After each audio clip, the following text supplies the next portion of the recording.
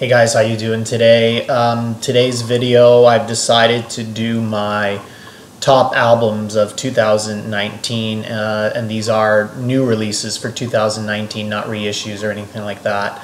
Um, I saw Sam the Vinyl Douche do his, and he, um, I think, is doing them in a few installments. Uh, for me, it's just going to be this one video. Uh, I am counting them down because that's what I like to do. I, I, I do a lot of lists and, and I like to, you know, uh, put them in order and all that kind of stuff. So it's going to be 15 albums in total, the top 10. The first five are going to be sort of honorable mentions. Um, the one thing that I noticed uh, about new releases is I'm definitely buying much less new releases um, than I was, say, back in the late 80s, 90s, even 2000s. Um, I don't know if that's just me or, or, or, the music, maybe a little bit of both. Uh, one thing I do know is I definitely don't play new releases as frequent as I used to. So that means, you know, back in the late 80s and most of the 90s, um, when I got a new album, like I really played it to death and I really, especially if I liked it, obviously. And, uh, I really got to know the album quite well. Um, even though these albums are, are my, are my favorites of the year, my top 10, um, I definitely don't know these albums as well as I used to know albums back in the 90s. Um, I think the problem is you just got so much. I think we all have this problem. We got so much to listen to. Where do you find the time to really sink your teeth into an album? And unless it's an album that you really love, you know, you're probably going to play it. I don't know. Um, I, I, think I've played most of these probably anywhere from three to five times, if if that. Maybe some, maybe more on some of the higher placed items. Um, you know, maybe around the ten mark, that sort of thing. So they're they're definitely my favorites, but you know, I just don't know them as intimately that, uh, uh, as I used to know albums uh, in, in the past. Uh, having said that, I'm pretty confident these are my favorites and, and, and that they're in some kind of logical uh, order. Okay? All right. Let me just get these in order here. Sorry, guys. Okay. Um, so again, the first five are going to be sort of honorable mentions honorable mentions. Um, the one thing that I have noticed is, uh, and, and when I, I think I did this uh, same countdown in 2017, most of these releases are from either established artists who happened to make an album in 2019, uh, solo artists of bands that used that I used to like, and now you know the the lead singer or, or what have you um, has made a solo album, so I've still followed that that person. Um, I don't really know. I'm just quickly glancing at my list here. Um, I don't think any of these albums, except for one, maybe, is of a newer artist. And and when I say newer artist, uh, you know the artist may have be uh, started ma- making albums in the 2000s so so there's there's going to be no real sort of you know this is this band's first album or second album that kind of thing. Um, i don't know why that is. Maybe i just you know i like what i like and you know kind of gravitate towards that. I mean i'm, I'm open to new music. Um, but for whatever reason, um, these new releases are the ones that, that stood out for me this year. Okay, um, so uh, Arnold, for, first honorable mention, P.P. Arnold. The it's called the yeah the New Adventures of P.P. Arnold. Um, her, of course, being the singer back in the '60s who uh, spent some time in the Ikettes. And also did some work with the Small Faces. Uh, the one thing about this album that's significant for me is the lead track, the first single, it's called Baby Blue. Um, that is my favorite single of the year. And if the rest of this album had been on par with that song, this would have most likely been my number one album of the year. Fantastic song, great 60s soul feel to it. Um, it's a double album. Just a shame. The rest of the album is is is very good. Uh, I like it a lot, uh, but if it was at the caliber of Baby Blue, this would have been the number one for the year. Okay, another honorable mention. So I, I am a, I am a Bryan Ferry and Roxy Music fan. So Bryan Ferry, uh, and this album is called Bittersweet. This was released at the start of 2019 and is um, redone versions of Ferry solo songs and Roxy songs done in a sort of a 1920s jazz style.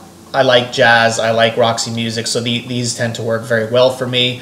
Uh, Ferry's vocals on this are still very good, but you can tell that they're getting a little, a little weak. I would have preferred uh, a brand new album of uh, new material from Ferry instead of this, but still, being a big fan as I am, um, I had to get this.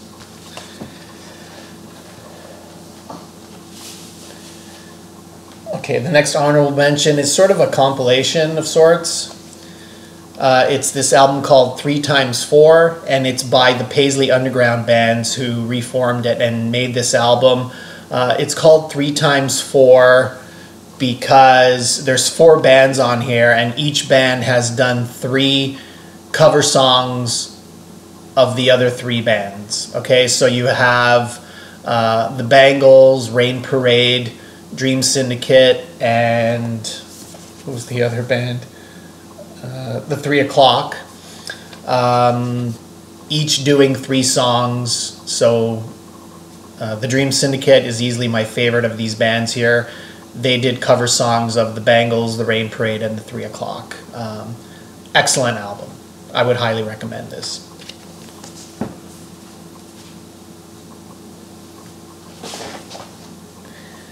Uh, so I've shown a lot of reggae on my uh, channel, not as much as uh, Doug at Fat City Vinyl, but I've shown my fair share of reggae. Lee Perry, uh, Rainford. Uh, this is your typical Lee Perry ramblings about Jah, Rastafari, with a little bit of an electronic feel on some of these tracks because it was produced by Adrian Sherwood. Uh, but there's you know uh, enough roots reggae on here to make this uh, a reggae album in my opinion. Another honorable mention, and then the last of the honorable mentions before we get into the top ten. And uh, this is an album that I would have expected to have been in my top ten. I do like the album, uh, but there are others that I like more and, and play more often. The Claypool Lennon Delirium, South of Reality. So of course this is Les Claypool of Primus on bass and vocals, Sean Lennon on guitar and vocals, and these guys um, formed this band uh, a, few, a, couple of years ago. This is their second album, and they're they're pretty good partners with one another uh, on this. Great great collaboration. I, I enjoy this more than uh, the last Primus album, which was a concept album. Um, there's some psychedelic uh, elements to this. Uh, Les Claypool's bass is very prominent in the mix. Uh, so if you're a fan of any of that, this is an album that's worth uh, worth picking up for sure. Okay, now into the top 10. And I mentioned before some bands that have re reformed. The, the number 10 album is for Royal Trux, White Stuff. I got this back, I think, around September, even though it was released earlier in the year. Uh, so I wasn't into Royal Trux when they were around back, I guess, in the 90s. It was the sort of their hey, their heyday. Um, but I, I, really, really enjoy this album. This sort of has an MC5 uh, kind of feel to me with, uh, you know, guitar based, but, but does has a bit of a groove. Uh, really nice bass and drums on this. So White Stuff, uh, number 10. Another band that reformed, and I think this is now their, I want to say, fourth album since reforming in the early 2000s.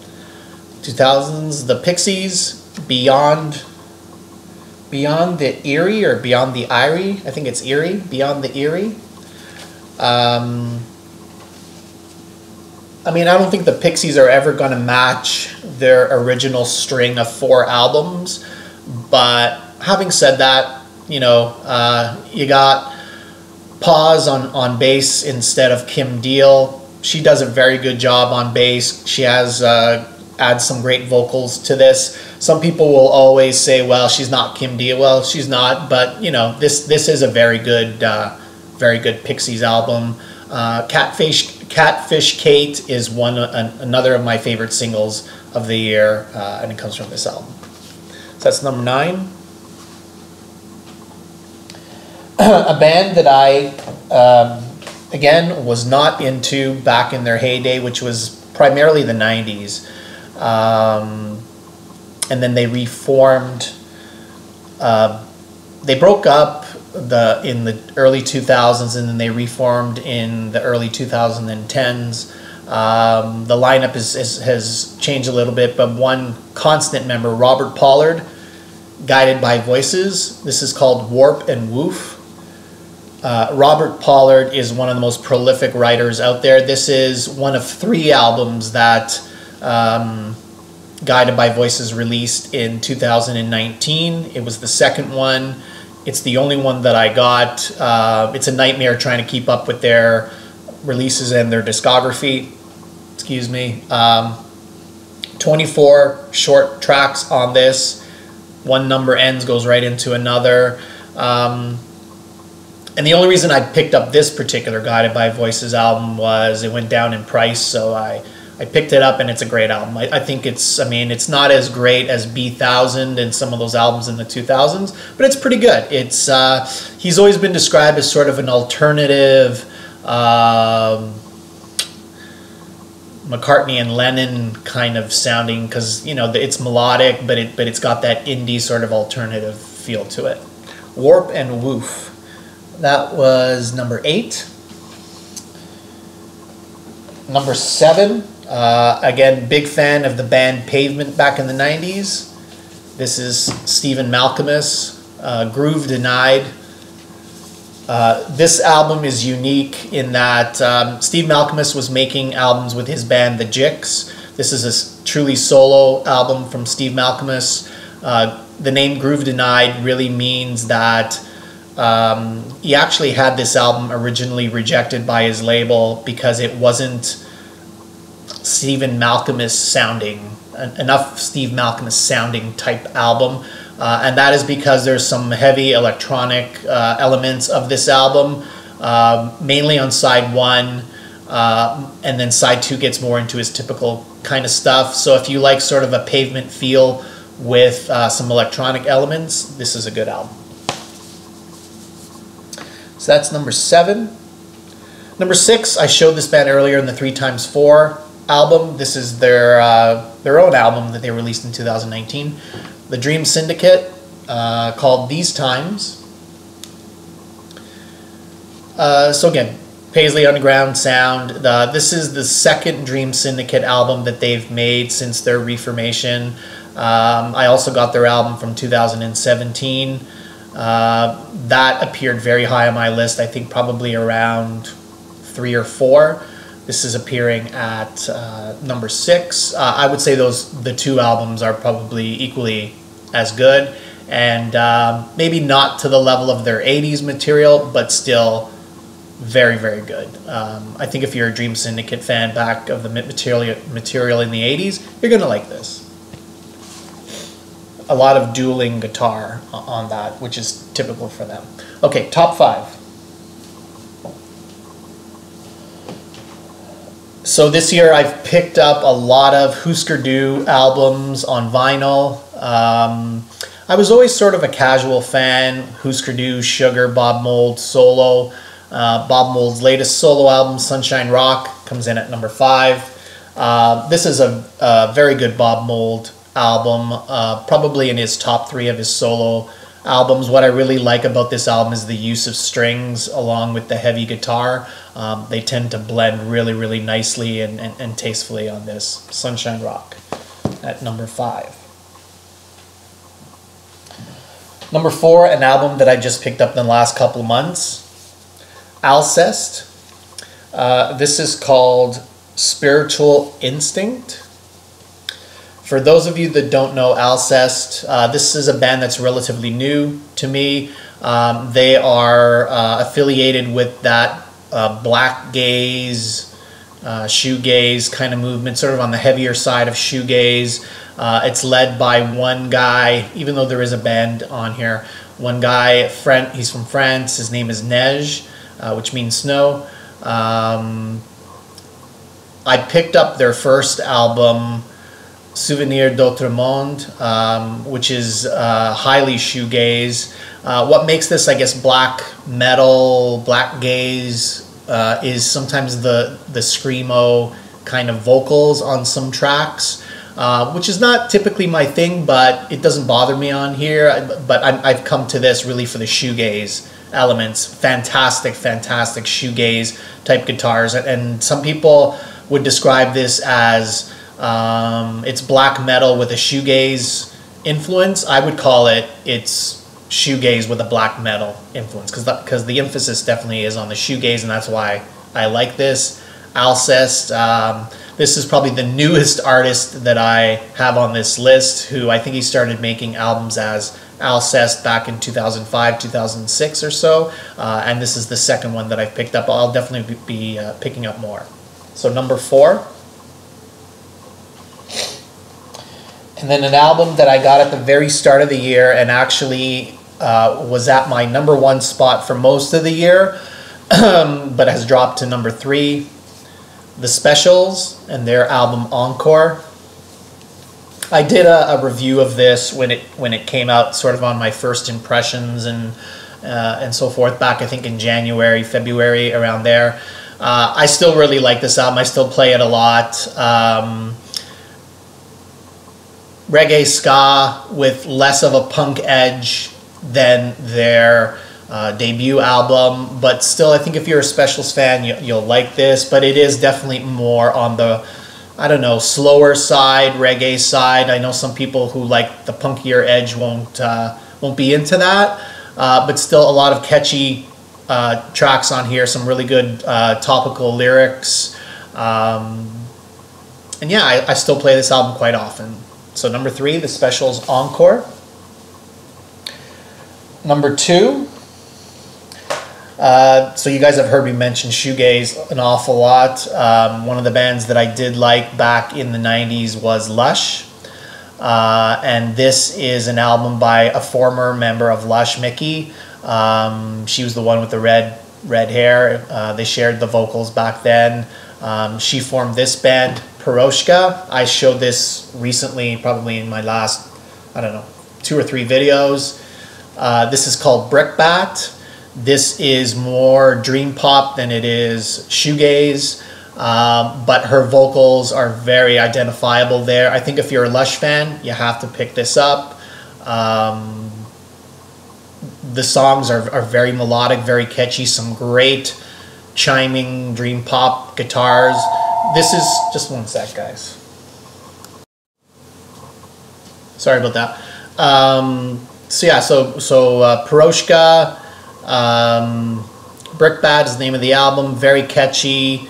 Um, if you're, this is a, a, I was saying this was a, a bit of a super group of sorts. I, I mentioned Miki, obviously from Lush, who's the leader here, uh, but you have the guitarist from Moose, who I think is her uh, her partner, significant other. Uh, you have the bass player from Modern English. Um, I'll Stop the World and Melt, melt with You. Uh, and I guess the drummer from Elastica, who was playing when Lush reformed a couple of years ago. Um, so yeah, definitely uh, check out some samples of this on YouTube. They have a KEXP uh, session that they that they did. Um, I just love the sound of this album. Uh, I love Lush, and uh, you know, um, again, not as shoegazy as Lush, but but still excellent. Okay, then number one, a shoegaze album. Big surprise, right? Swervedriver, Future Ruins. Uh, Swervedriver, again, one of the shoegaze bands that reunited within the last, uh, I don't know, five to ten years. This is their second album they've made since they reunited. They made four albums back in the 90s. Uh, those albums, uh, for the most part, are better than this, especially the first three.